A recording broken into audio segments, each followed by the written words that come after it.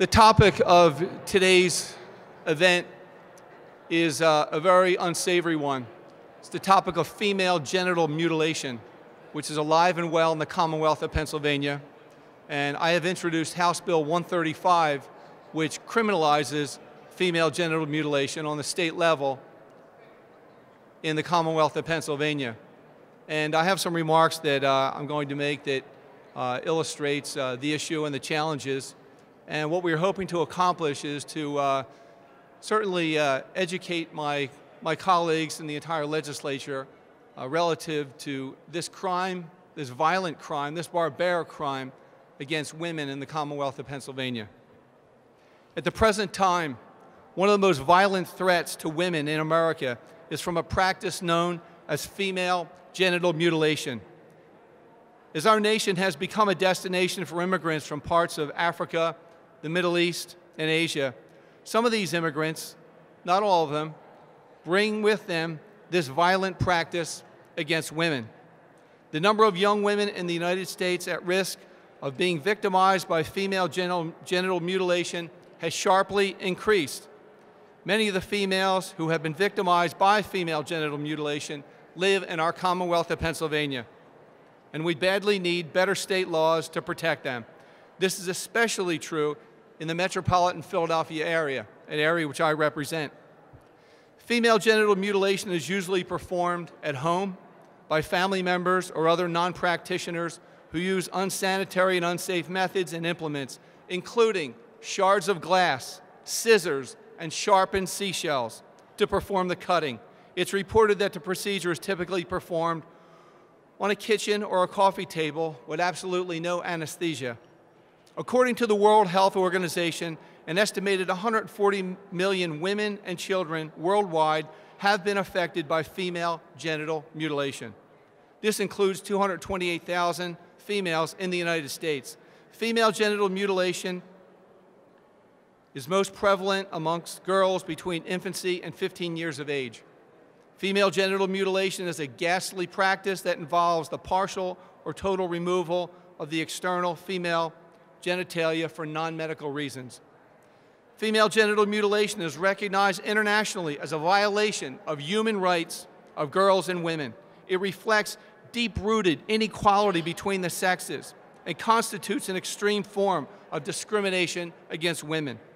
It is almost always carried out on minors and is a violation of the rights of children. The practice also violates a female's right to health, security, and physical integrity the right to be free from torture and cruel, inhumane, or degrading treatment, and the right to life when the procedure results in the death of a female. Female genital mutilation has no health benefits, and it harms girls and women in many ways. It involves the removing of healthy and normal female genital tissue and interferes with the natural functions of the human body. Immediate complications can include severe pain, shock, hemorrhaging, infertility, cysts, and increase the risk of newborn deaths and complications and bacterial infections.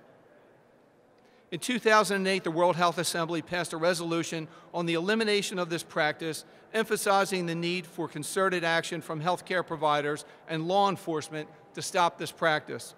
This is why it's so important that we pass House Bill 135. My legislation would specifically make it a crime to cut or allow someone to circumcise or excise the genitals of a female minor. The United States Department of State considers female genital mutilation not only a public health concern, but a human rights issue, as the practice violates the rights, the right of a woman's bodily integrity. Women who are immigrants are at continued risk of this practice as Many of their cultural beliefs follow them to the United States where the practice has moved underground. And Pennsylvania is among the states with the highest number of women who have been victimized or are at risk. Other states include California, New York, New Jersey, and Maryland. Under my bill, female genital mutilation would be a felony of the first degree. Despite the health risks, many young women from parts of Africa, the Middle East, and Asia are subjected to this excruciating and life-threatening crime. There have been incidents of female genital mutilation that led to girls' deaths demonstrating the dangerous and horrific nature of the procedure. Women also suffer emotional and psychological trauma after female genital mutilation. All of these heinous injuries are unnecessary and can be avoided if we address the problem through proper legislation.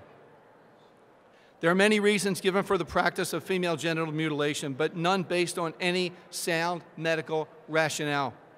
In some countries, female genital mutilation is a rite of passage, which marks a girl's transition to womanhood and her readiness to marry. It's also motivated by beliefs about sexuality, virginity, and chastity. Some cultures believe female genital mutilation emphasizes pureness in young girls. There is no scriptural or religious justification for female genital mutilation. In order to combat this growing threat of female genital mutilation against women in the Commonwealth of Pennsylvania, my legislation prohibits and criminalizes this act. Shockingly, there is no current state statute in Pennsylvania that outlaws female genital mutilation, even though an estimated 10 to 25,000 Pennsylvania women and girls are at risk. The practice is a clear violation of the human rights of females. And as I mentioned, the World Health Organization classifies this as torture. Female genital mutilation manifests the worst type of marginalization of females in our society and exposes how the Commonwealth of Pennsylvania and the global community have fallen short in trying to protect females from this degradation, brutality, and cruelty. My bill aims to prevent the act of female mutilation and ensures that custom or consent cannot be a valid defense for female genital mutilation. If this bill is signed into law, Pennsylvania would join 23 other states in protecting the rights of young women and girls by prohibiting this procedure. Uh, we have a couple speakers, and uh, I want to introduce and thank my colleague Jordan Harris from Philadelphia for being here. And uh, Jordan, would you like to speak? Sure. Okay, thank you. Uh, good afternoon. Um, I'm State Representative Jordan Harris, representing the 186th Legislative District.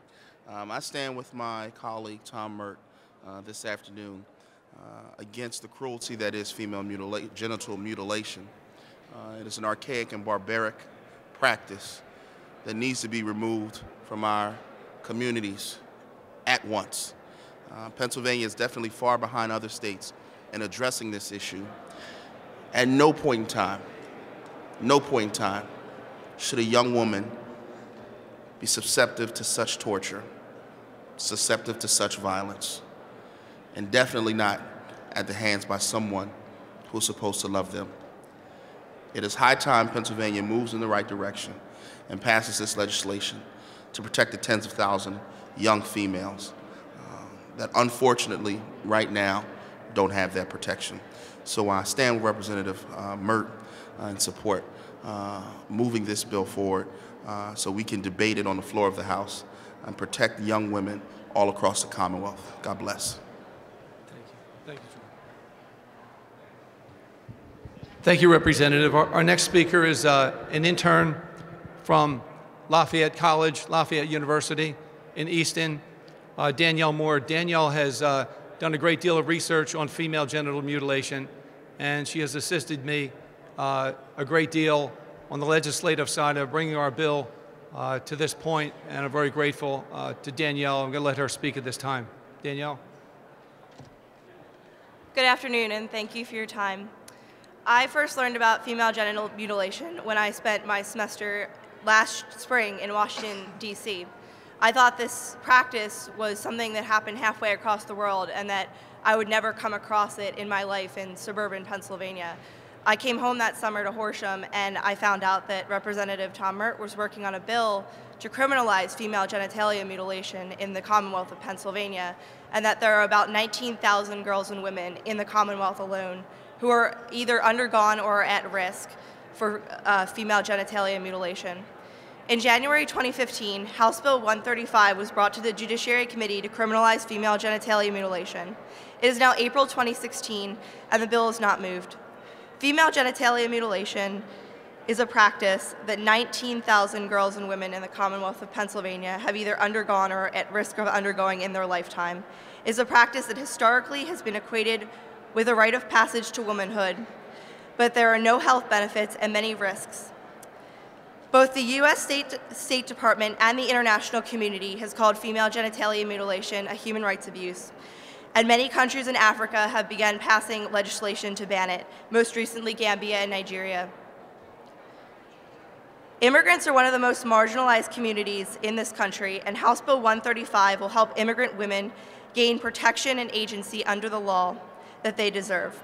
The Judiciary Committee claims that House Bill 135 is irrelevant because female genitalia mutilation can be put under the umbrella of aggravated assault, but aggravated assault counts if the action is under malicious intent, which is not female genitalia mutilation. This is a cultural and sometimes religious practice. If Pennsylvania wants to be a leader in progressing equal rights, House Bill 135 will be passed into law, and the voices of women who are typically pushed to the side will finally be heard and protected under the law. Thank you.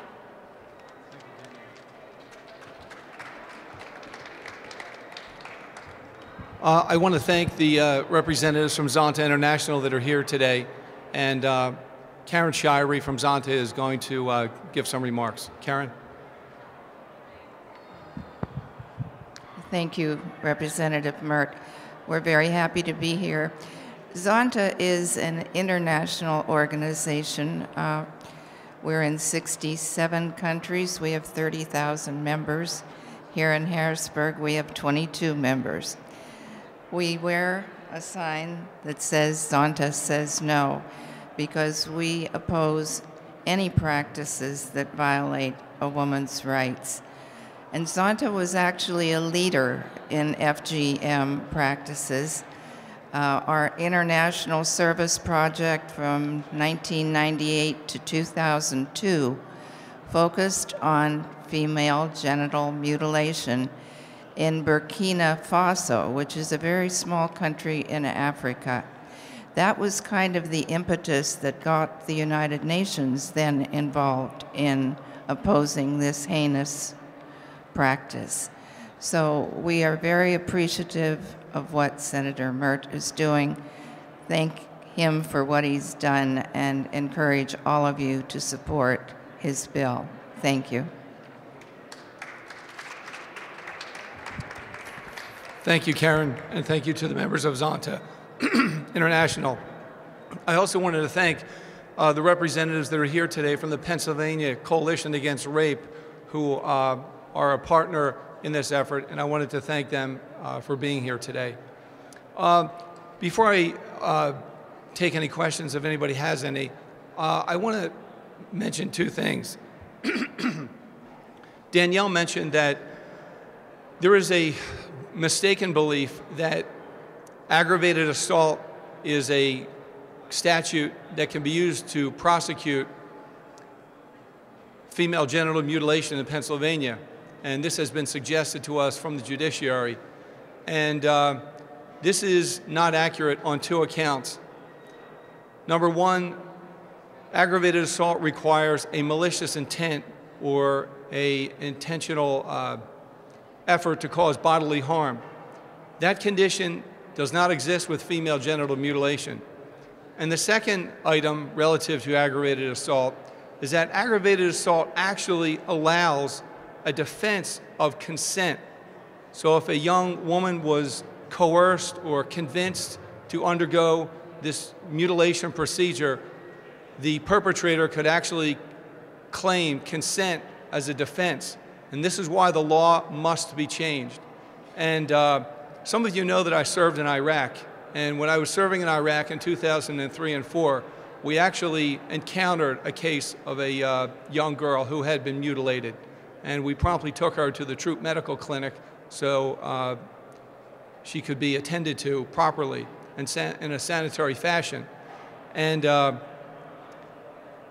in addition to that, we have been given some anecdotal data that tells us that some of these, what I will call botched cases, have ended up in different emergency rooms in the Commonwealth of Pennsylvania, where a young girl is subjected to this procedure and uh, they cannot get the young girl to stop bleeding uh, after she has been cut, and the family or the caregivers, whoever they are, take the young girl to the uh, local emergency room usually in the, one of the Pennsylvania's metropolitan areas. So this is a practice that sadly and tragically is alive and well in the Commonwealth of Pennsylvania and is actually on the rise.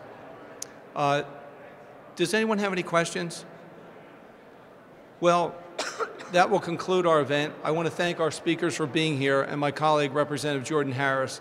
And uh, I want to thank Zonta and the Pennsylvania Coalition Against Rape for their ongoing support. We are hopeful that this bill will move one way or the other through the House of Representatives. We have not ruled out a discharge resolution where it's taken from the Judiciary Committee and brought directly to the floor for a vote. Um, so that is still uh, an option for us. So thank you very much for your uh, concern. Thank you for your support.